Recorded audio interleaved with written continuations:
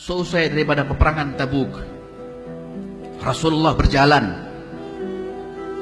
sambil menonton daripada untanya. Tatkala dari kejauhan Nabi Muhammad SAW melihat ada seorang bapak, ada seorang kuli bangunan yang lagi mengangkat martilnya dan dia kemudian memecahkan daripada batu tersebut dengan martilnya. Sambil kemudian Rasulullah SAW mengatakan, kenapa Tangan bapak begitu melepuh dan kasar.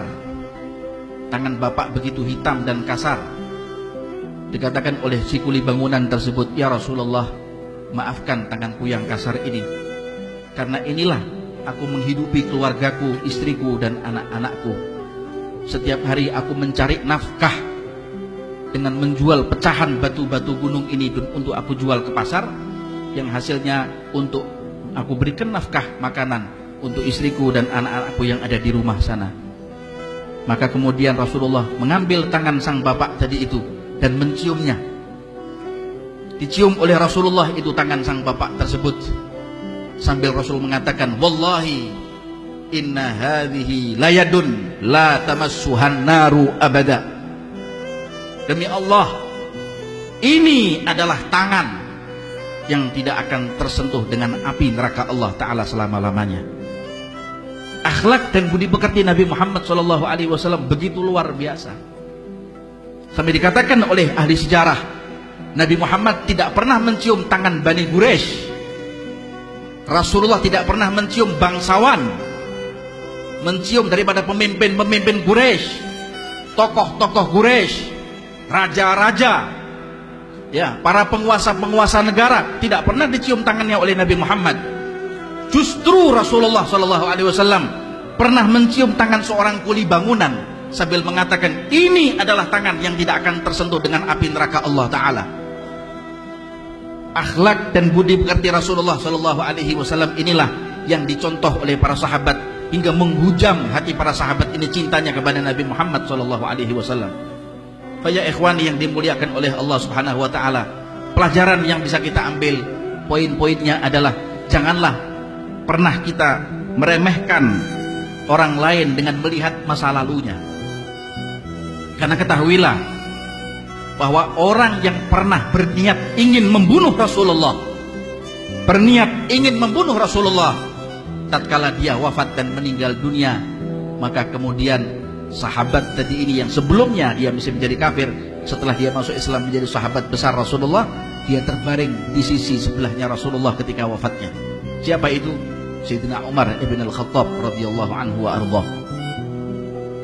Jangan pernah kita melihat seseorang dari masa lalunya. Karena tatkala ada seorang laki-laki yang dahulunya dengan menghunuskan pedangnya untuk memerangi agama Allah Ta'ala tatkala dia menjadi seorang sahabat Rasulullah pedangnya menjadi Saifullah siapa itu? Khalid ibn Walid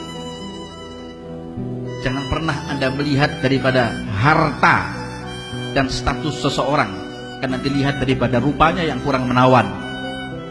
Sahabat Julaibib tatkala dia meninggal dunia Rasulullah Shallallahu Alaihi Wasallam di peperangan Uhud mengatakan kepada para sahabatnya siapa yang kalian hilang saat ini kalian kehilangan siapa di perang Uhud ini maka sahabatnya mengatakan kami kehilangan pamanmu ya Rasulullah Sayyidina Hamzah yang lain mengatakan kami kehilangan Mus'ab ibn Umair.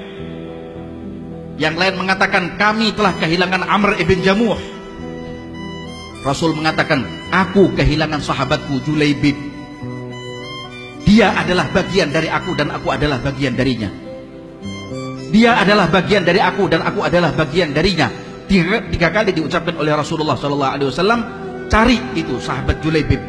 Maka dicari oleh para sahabat Rasulullah maka tergeletak sahabat Julaibib dalam keadaan sudah tidak bernyawa karena daripada punggung sahabat Julaibib telah ada yang namanya tujuh ataupun sepuluh tombak yang ada di punggung sahabat Julaibib karena ingin membela Rasulullah tubuhnya tidak rupawan wajahnya tidak ganteng tapi bidadari bidadari Allah Ta'ala yang ada di dalam surga berebut ingin mengejar sahabat Julaibib karena apa? cintanya kepada Rasulullah Jangan Anda melihat status dan harta. Sepatu emas daripada Fir'aun ada di dalam nerakanya Allah. tapi sahabat Bilal sandal jepit lusuhnya sahabat Bilal sudah terdengar di telinga Rasulullah ada di dalam surganya Allah Subhanahu wa taala.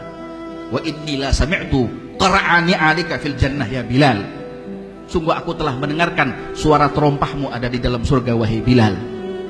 Ikhwan yang dimuliakan oleh Allah Subhanahu wa taala semoga insyaallah dengan pertemuan ini menggugah hati kita untuk selalu menelaah, membaca, kemudian juga kita ajarkan kepada anak-anak kita, kepada keluarga kita akan sirah bagaimana perjalanan seri kehidupan Rasulullah Shallallahu Alaihi Wasallam agar supaya kita tahu begitu agungnya dan begitu maha sempurnanya Allah Subhanahu Wa Taala menciptakan dan memilih nabinya Rasulullah Shallallahu Alaihi Wasallam untuk menjadi untuk dijadikan kita sebagai uh, orang yang mengikuti Rasulullah Rasul sebagai panutan kita, sebagai guru kita, sebagaimana yang telah Allah Ta'ala abadikan di dalam Al-Quran. Laqad kana lakum fi rasulillahi uswatun hasanah liman kana yarjullaha wal yawmal akhirah wa dzakarallaha katsira. Amin ya rabbal alamin.